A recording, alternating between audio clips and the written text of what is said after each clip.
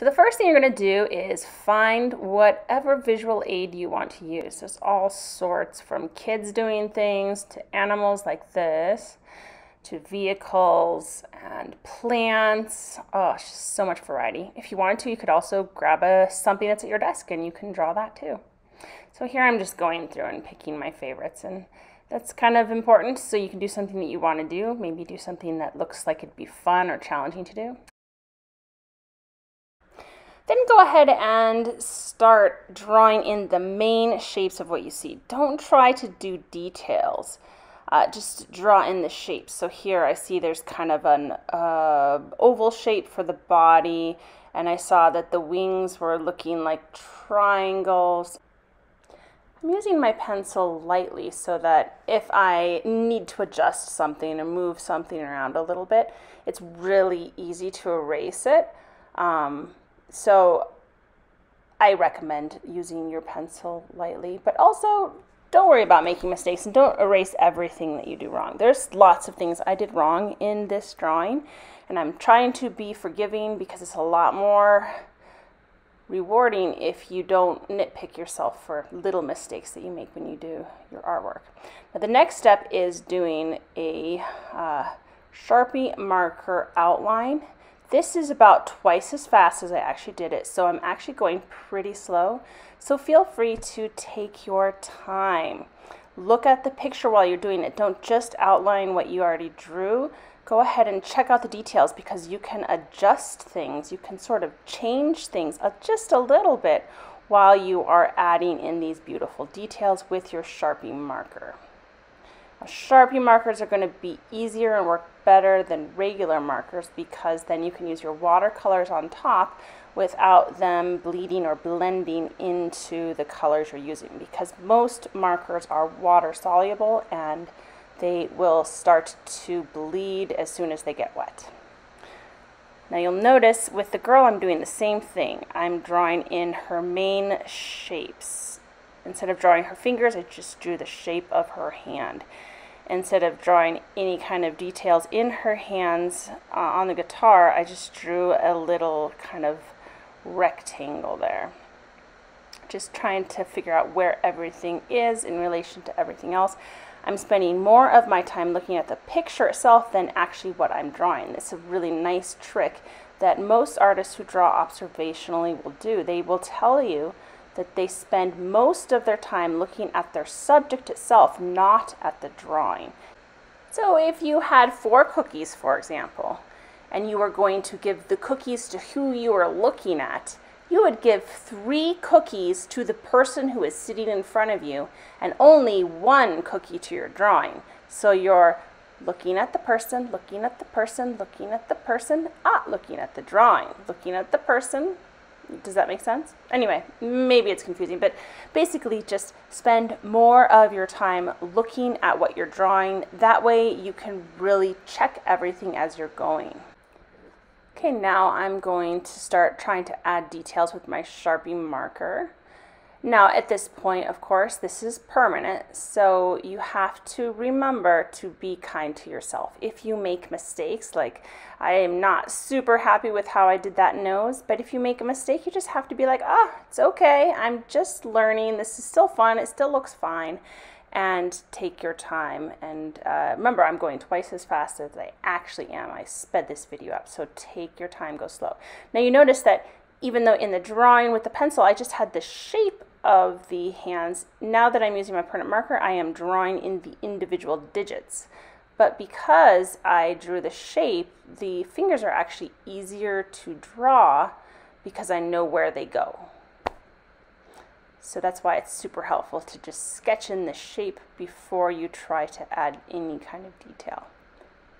I'm adjusting a little bit as I go with her legs, sort of noticing some things that I didn't notice before. And that's one of the nice things. I'm still spending most of my time looking at the picture itself instead of at my drawing. That's really helpful.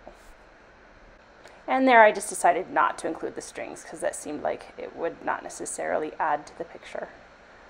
So you can choose to leave things out if you want. And then I decided to draw in the background that's in this picture. I drew the grass in the foreground, a little hill in the background, and those trees. One tree is far away and higher up in the picture frame. And the tree that I'm drawing right now has bigger leaves because it is closer to me. Picture, I am not going all the way over to the side because I wanted there to be enough picture in the video frame for you to see me drawing as well as the picture that I'm drawing from. But when you do this, I hope you fill the whole page all the way. Now, one thing I don't actually draw a lot is vehicles, but I thought I would challenge myself and try something new, and so I chose to draw this car. Now, when you do cars, it's just like anything else. You're going to start with the main shape. So you can see I'm drawing in the body shape of the car that I can see, and then figure out where the windows are and draw that main shape. And it's sort of connected to the door, so I started drawing that. And then after I got the main shape in, I started doing some more medium-sized details like the fenders and the tires. Now the reason you do that is because otherwise you'll spend tons of time on a detail and then everything won't really fit together. So you want to start with the big main shape. So I'm spending most of my time looking at this picture and only a small amount of time looking at what I'm drawing. That way I can really, really pay attention. And something that you'll notice is that when you draw things, you start to notice things about them that you had never really noticed before. It sort of helps you observe things more closely. And I find that there are paintings that I've looked at so many times, but I won't even notice something in that painting until I try to draw or paint it. It's so fun to see what you discover. And so if there's something you're really interested in knowing more about, like a flower or a toy or a car or whatever you are fascinated by, you should try to draw an observation because you will learn so much about it. Now don't forget, I am actually drawing slower than this. I've sped up the film for you so it will be a little more interesting to watch. But I'm taking a lot more time than this, and I'm also making mistakes here or there, but forgiving myself for them as I do them. Because I'll notice and maybe go, oh no, this is permanent marker. I can't fix it. But I just do my very best and then try to forgive myself for my mistakes because it still looks okay. The problem is if you are mad at yourself for every mistake you make, you never finish it I noticed mistakes that I was making in this car. And if I didn't forgive myself for those mistakes, I would have stopped doing the artwork and I would never have finished it. And now that I'm done, I'll look at it and go, well, I don't even hardly notice those mistakes. But when you're making something, sometimes that's all you see. So just cut yourself some slack, be nice to yourself, don't worry too much, okay?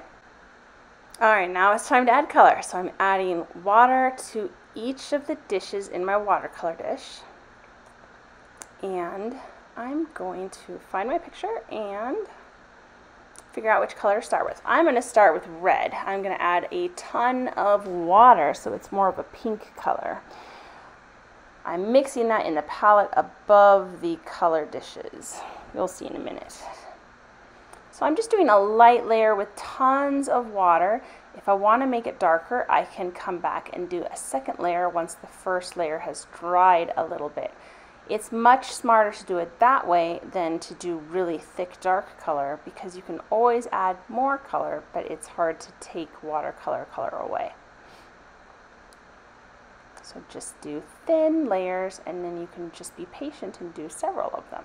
So you see how I'm adding the second layer here and it's getting darker but it's not sticky or thick. I'm not picking up clumps of color. It's very translucent. Now here you can see where I'm mixing the colors and the black is not as dark as it could be. I added plenty of water to this. So I'll do another layer if I want to make it darker so I'm adding more water to this to make it a really light gray so I can do some shading so if you want to make gray just add tons of water to black.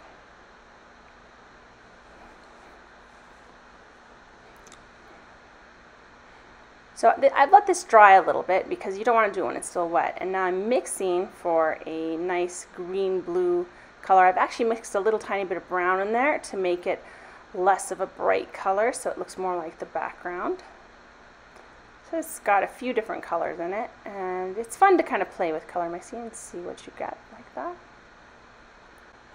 Now I'm using a lot of water so I'm just kind of using the tip of the paintbrush. I'm not using, I'm not smushing anything down, I'm being very, very gentle with the water, just kind of moving the water around.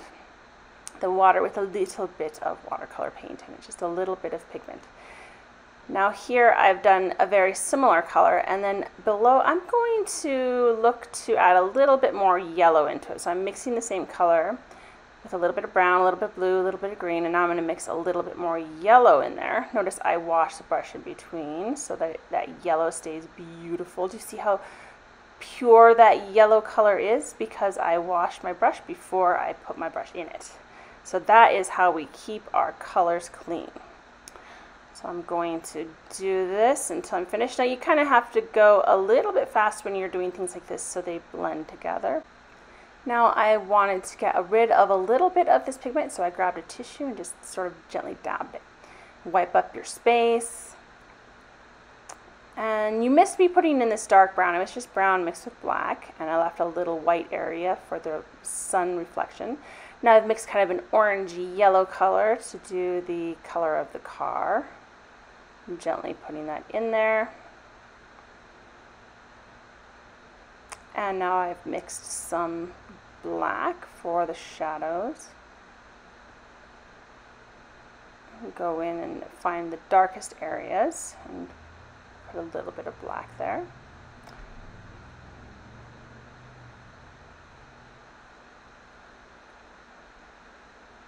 Now I'm going to mix a ton of water into that black to make a gray to do the tires and some of the chrome, which is like the, another word for metal, basically, on a car. Now I decided to do the cast shadow on the ground. I wasn't sure if I was going to do that at first, but then I decided why not. So that's something I noticed in the picture and I decided to make it in my drawing. It'll make it look more three-dimensional.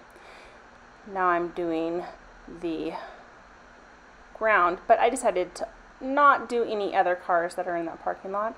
So I'm using a little bit of creative license and just doing the part that I want to.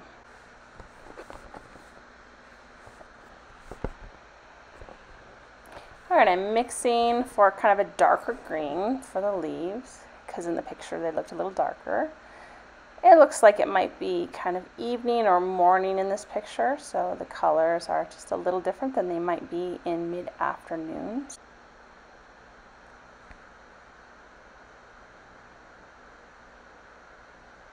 Now here I notice I made a mistake. I didn't put any sky in between those two branches, so I kind of just play with it a little bit until it looks okay. And you can do that when you make mistakes. You can kind of just go wabi sabi. Oh, I have a happy accident. I'm going to make it cool. It'll work. Some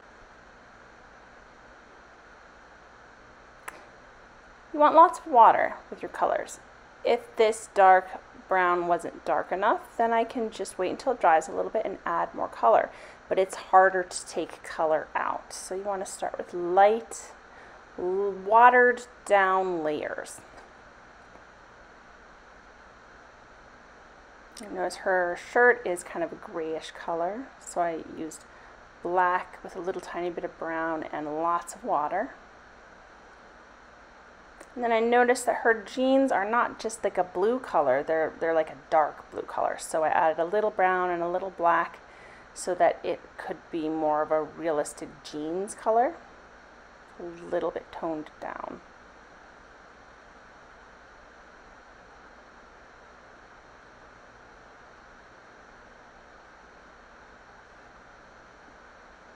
And now I'm going to continue on my car.